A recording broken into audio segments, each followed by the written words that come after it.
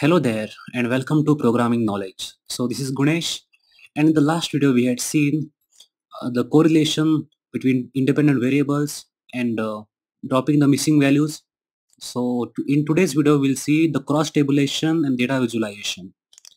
So let's get started. So what we'll do first, let me get an idea of how many columns are there in particular data frame. So data frame we had was data 2 we want to see the columns. So data2 dot columns will give us all the columns present in the data frame. Here you can see age job type salary status. So let's see the gender proportion. So how you can see the gender proportion? So for that we'll need a gender from the data frame and we'll use pandas cross, uh, cross tab function. So we'll create a variable called gender equals to pd dot cross tab. So in this function, we'll pass first parameter as index equals to the data frame column which you want to consider. So we'll call data 2, then slicing operator and then the gender. That is the column. next thing which want is columns. So columns we'll consider as count because we need a count of the gender and then we want proportion. So for that we'll use normalize equals to true. And if you now print the gender variable we can see the proportions of female and male in the population. So you can see male proportion is more that is 67 67 percent whereas female is 32 percent. So now let's see bivariate analysis. So we'll consider two variables, gender and salary status, and we'll find out what is the relationship between them.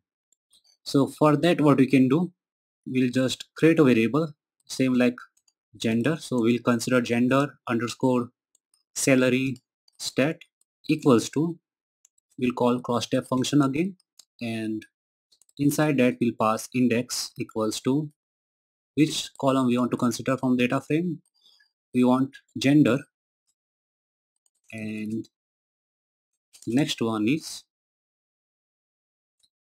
in the columns we consider the salary status. That is a column. So sal st at comma along with the gender male and female category we want all categories so we'll consider margins equals to true to get that and the next one is normalize so to convert the count into proportions and if you run it and if you just print this you can see all along with that female male for salary status of greater than 50,000 and less than or equal to 50,000 for two categories. We can see that male has 30% population who has category of greater than 50,000 salary and uh, female is only 10% for greater than greater than 50,000 rupees salary. And in the less than or equal to 50,000 category, we can see the female says 89% whereas gent says 69%. So overall male has more as compared to females. So let's see the frequency distribution of salary status. So for that what we can do is we can draw plot using Seaborn library. So we'll create a variable called salstat equals to then we'll call SNS that is Seaborn library and from that we'll call count plot function. So in this if you give the salary status column of data frame data frame is data 2 and column name is salary cell stat if you run this we get a count plot. And here you can see 75 percent that is this is less than or equal to 50,000 rupees salary people. Whereas 25 percent is greater than 50,000 salary people.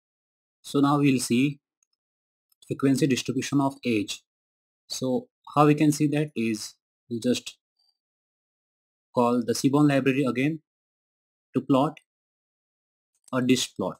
So dist plot will show us the distribution of age over the intervals. So the column which you want to consider is age and then how many number of bins we want. So we'll consider 10 bins so that is 10 intervals or columns you can say. And the kernel density estimate that is KD we don't want so we'll equal to false.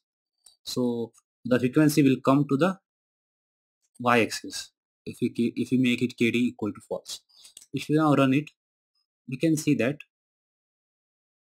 the age is given from 0 to 90 and the count is given here. And in here you can see people of age 20 to 45 are in very high frequency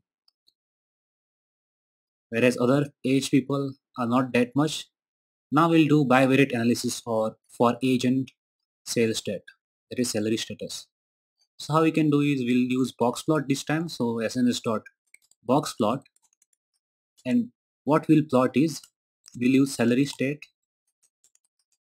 Along with that we want age also. So we'll compare both of them and data will get it from the data frame data 2 and we also want to group by this data frame. So we'll use group by function so data 2 dot group by so inside this function will give us our variable that is salary state. So the data frame will be grouped on the basis of the salary status.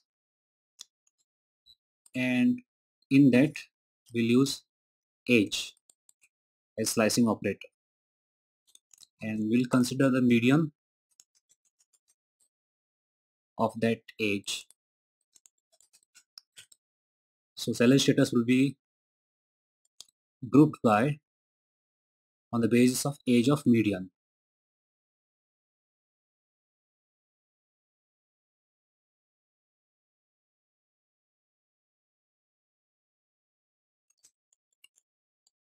if we now run this